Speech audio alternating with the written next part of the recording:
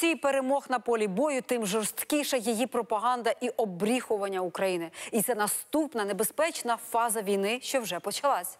Оприлюднений звіт міжнародної правозахисної організації Amnesty International, яка звинуватила українську армію в тому, що вона наражає на небезпеку мирне населення, красномовний початок цієї кампанії. Російський спрут проникає скрізь в міжнародну пресу, в міжнародні організації за великі гонорари продаються політики. Перемогти у цій війні непросто. Росіяни вміло і талановито переконують світ, що Україні не варто допомагати. Вона, мовляв, корумпована, зброя ваша невідомо куди дівається, армія не жаліє своїх громадян тощо. Дошкульні заголовки статей, сюжетів, звітів сіють сумніви не в одній голові і не в одній країні. Тому Україні слід діяти на випередження, не виправдовуватися, а вперто і так само талановито розповідати правду про війну, не розповідати а кричати. Звіт міжнародної правозахисної організації Amnesty International обурив увесь цивілізований світ, бо це не що інше, як спроба виправдати дії Росії і розмити різницю між агресором, який убиває, і жертвою, яка захищається на власній території. У той час, як британський уряд допомагає Україні зброєю, правозахисна організація зі штаб-квартирою у Лондоні стає рупором брехливої пропаганди режиму Путіна. Так написала сьогодні впливова Таймс. Раніше шанована гуманітарна організація Amnesty International нині демонструє жалюгідну байдужість до пригноблення, проявивши м'якість до злочинів і фашизму. Вона мусить мати порядність піти зі сцени. Українські сили мужньо протистоять Росії, допомагаючи цивільному населенню залишати небезпечні райони. Не дивно, що український офіс, з яким ніхто не консультувався, засудив ці передбачувані висновки, тоді як російське посольство в Лондоні охоче поширило їх.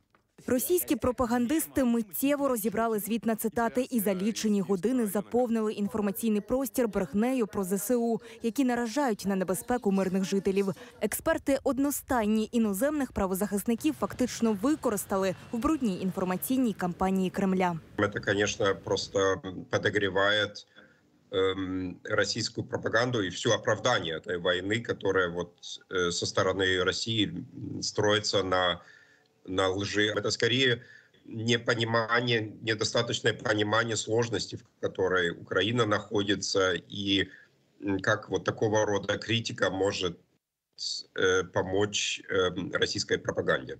Що більше провалів у Росії на фронті, то більше фейків вона плодитиме проти України. Така фаза гібридної війни вже на порозі. Її мета дискредитувати Україну, посіяти сумніви і завуальовано переконати світ не допомагати Києву. Ми вступаємо в е, другу фазу. е, Інформаційної війни, і е, ця фаза якраз буде характеризуватися тим, що роль інформаційного компоненту буде зростати. Росія намагається е, створювати таке е, відчуття втоми е, від цієї війни, погрожує. Е, Різним країнам економічними важкими наслідками пише про те, наскільки е, жахливою буде зима, всього буде не вистачати. Вже створюється там буквально дефіцит всього. Це спроба психологічного тиску на, на західні аудиторії е, для того, щоб змінити їхнє ставлення і зменшити рівень підтримки. Росія тисне всіма ресурсами медіа, міжнародні організації, навіть окремі політики. Часто не напряму і не завжди за цим стоять російські гроші, але пропаганда підхоплює наративи, що країна корумпована і розкручує це до найвищих рівнів у різних державах. Зараз ми бачимо, як е, така діяльність активізувалася. Вона відбувається на дуже різних рівнях за допомогою дуже різних платформ. Е, Ми бачимо зростання і е, відповідних е, медійних матеріалів, які намагаються скомпрометувати Україну, е, показати, що вона є якось такою чорною дірою, е, сповненою корупції, неефективного використання ресурсів, елементарного розкрадання і контрабанди озброєнь. Цього тижня американський телеканал CBS випустив сюжет про контрабанду західної зброї в Україні. Саме тоді, коли ЗСУ потребують більше озброєння для контрнаступу і деокупації територій, захід переконують, що Києву не потрібно допомагати, адже зброя може зникнути чи неефективно використовуватися. Це такий комплексний підхід. Всюди створювати стан інформаційного хаосу, е, невпевненості і тим самим е, намагатися вплинути на е, рівень підтримки України, тому що з точки зору Росії міжнародна підтримка є основною запорукою, чому Україна на сьогоднішній день виграє, і вона буде робити все можливе від неї е, для того, щоб цю ситуацію змінити і переломити е, на свою користь. Україна мусить бути насторожі, не чекати появи фейків, щоб їх спростувати, а поширювати правду про війну і власні наративи.